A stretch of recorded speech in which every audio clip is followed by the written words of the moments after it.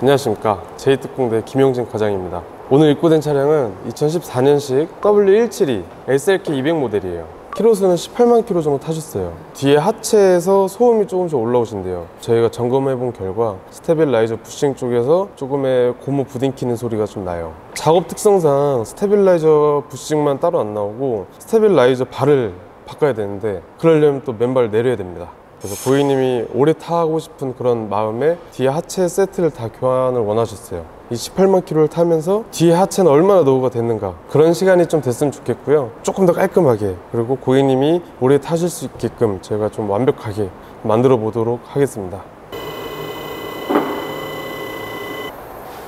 과장님 예, 이 차가 또 까브리올레 차량이잖아요. 그렇죠. 뚜껑이 열리는 차량인데 이렇게 뚜껑이 열리는 차들은 하체가 더 빨리 망가지고 그런 게 있나요? 구조상? 어, 아니요. 사실 차체 보강을 조금 더 하긴 하지만 뭐 강성이 떨어진다든지 내구성이 빨리 닳거나 뭐 이런 차는 아니거든요. 차체 보강은 이 차체 셰시 셰시의 보강을 조금 더 많이 했다라는 의미고 하체 구성은 똑같습니다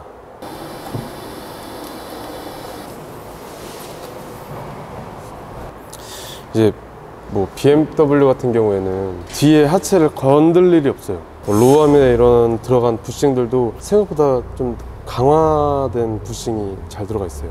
pillow ball도 사용을 하고. 이제 조금 연식이 된 벤츠나 이런 차들은 뭐 BMW도 E body 애들이나 그런 것도 다 동일해요. 부싱이 빨리 터진다든지 stabilizer의 그 고무 boot가 터진다든지 BMW는 한 번도 못 봤어요. 강성이 좋은 거예요? 아니면 뭐 구조상 잘 설계를 했다 뭐 그런 거예요?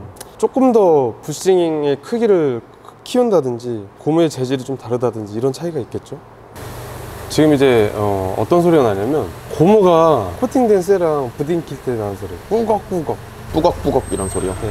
방지턱 넘을 때마다 사람 진짜 미치게 만들어요 요건 제가 좀 이따가 스테빌 링크 탈거해서 손으로 한번 흔들어 보고 실제로 꾸걱꾸걱 소리가 나는지 한번 들어보죠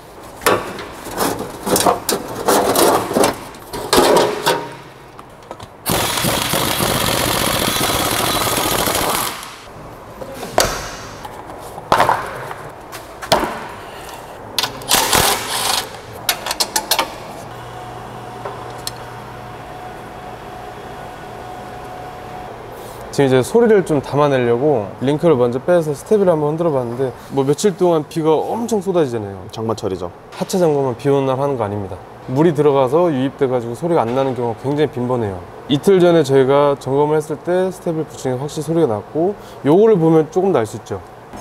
일전에 소음 때문에 이런 고무를 좀 덧대 놓으셨더라고요. 이 stabilizer가 부싱이 교환을 따로 할 수가 없어요. 그러다 보니까 아마 이렇게 선조치를 먼저 해놓으신 것 같아요 이건 완전히 다 그냥 일체로 돼 있죠. 고무를 일단 압착시켜서 완전 눌러붙게 만든 거예요. 오래되면 이 stabilizer와 이 부싱이 따로 놀겠죠? 그 사이에서의 부딩키는 소리 일명 꾸걱꾸걱의 소리가 나는 거예요. 그 stabilizer 캡에 있었던 고무를 한번 빼봤어요. 어떠세요? 소리가? 아 이런 소리구나. 이게 고무들이 오래되다 보면 유분기가 다 사라져요. 고무의 성질을 잃게 되는데 그러다 보면 경화가 돼서 딱딱하면서 부딩키면 이런 소리가 나요. 차주님도 이런 소리를 단번에 캐치하시고 자동차 관리를 하시는 거니까 신차 컨디션으로 만들어 보겠습니다.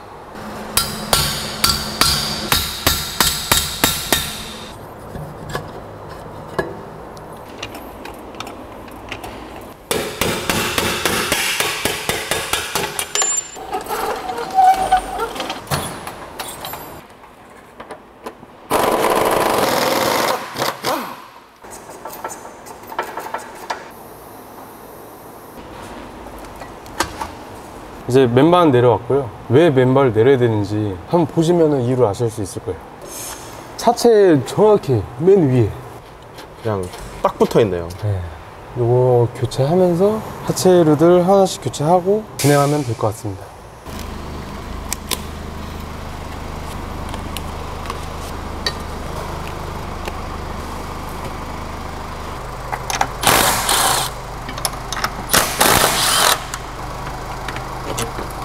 지금까지 보신 이 하체들은 전부 다 정품으로 준비했고요. stabilizer는 after로 나오는 게 없어요. 무조건 정품으로 나옵니다. BMW도 마찬가지고. 아무 소리도 안 나죠? 정숙함을 얻었습니다. 이제 보시면은 굉장히 많은 링크들이 걸려 있죠. 이 방식을 이제 multi-link 방식이라고 해요. 간혹가다 이제 일체형 방식인 torsion beam 방식이 있어요. 일체형이라면은 이게 지금 뼈대로 돼 있는데 뼈대 말고 하나로 이렇게 돼 있다는 그렇죠. 이 가운데 스프링 하나씩 달리고 그 밑에가 이런 각자의 링크들이 있는 게 아니고 엄청 큰 stabilizer가 있는 것 마냥. 근데 사실 승차감 면에서는 우리나라는 이런 multi-link 타입이 조금 더 맞다고 생각을 해요. 우리 일전에 르노 삼성의 XM3 프랑스 지형에 맞춰서 나온 게 XM3거든요. 근데 그 방식이 프랑스는 이런 포장 도로가 크게 없대요. 자잔자잔 이런 요철들이 있는 도로가 대부분이었다고 하는데 거기 방식에 맞춰서 나온 토전빔이 우리나라에 출시를 했을 때 굉장히 많은 논란이 있었어요.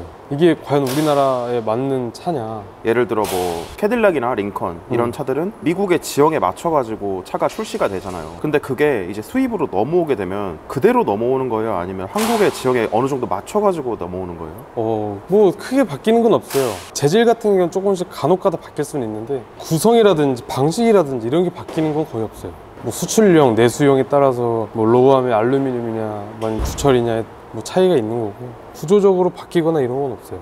이렇게 독립적으로 움직여서 각자의 이 역할들을 다 할 수 있는 이런 방식이 제일 선호도 높고 승차감도 좋고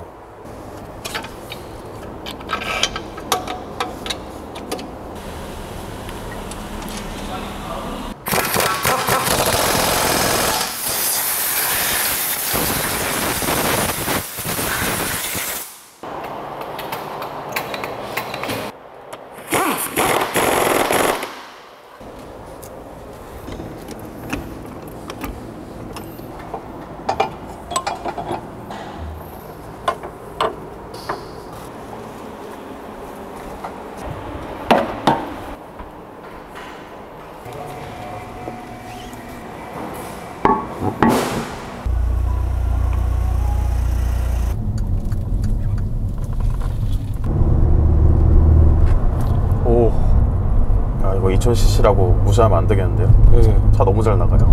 SLK 남자들의 로망 타보니까 알 것 같아요 조금의 스포츠성이 섞여 있고 굉장히 개성 있는 하드탑의 오픈카 특유의 핸들링과 이 승차감은 뭐 어쩔 수 없겠지만 뒤에 하체들 수리를 함으로써 조금 더 든든해진 느낌?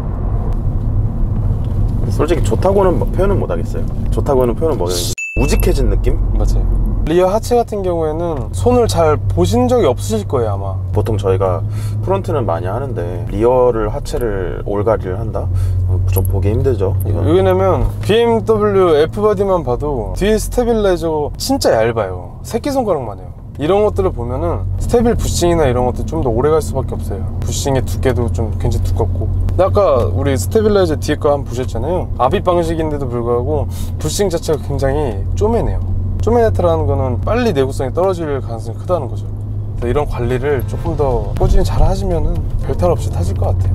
지금까지 이제 하체 수리 영상 봐주셔서 감사드리고요. 다음엔 좀 더 유익하고 재밌는 이런 영상을 찾아뵙겠습니다. 감사합니다